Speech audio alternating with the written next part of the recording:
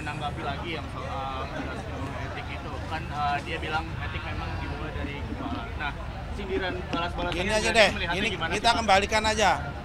Kalau kita ingin membedah etika, salah satu etika orang berpolitik itu adalah memegang komitmen.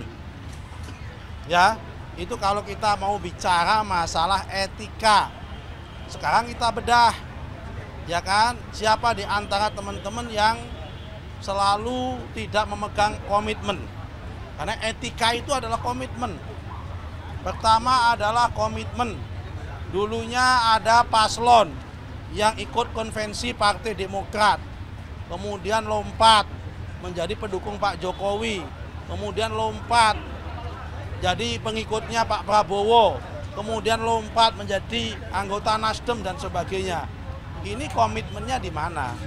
Kemudian juga ada calon wakil presiden yang sudah salaman.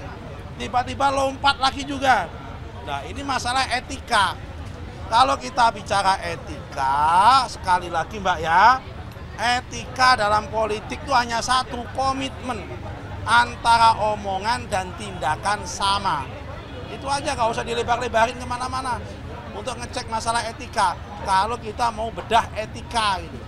Oke? Okay? Nah, Pak Anies ini viral kembali video dari Pak Prabowo yang mengungkit soal penyebutan ada pertanyaan dari Pak Anies soal etik-etik yang kan Pak Prabowo, Pak Prabowo menyebut indah semua yang indah semua etik itu tanggapannya dari Pak Anies juga. Memang etik itu mulainya dari kepala. Kalau kepala tidak mengikuti etika, apalagi yang di bawahnya. Jadi memang benar mulainya dari kepala dan dengan begitu yang di bawah akan ikut. Itu aja. Cukup ya. Terima kasih. Soal ini Pak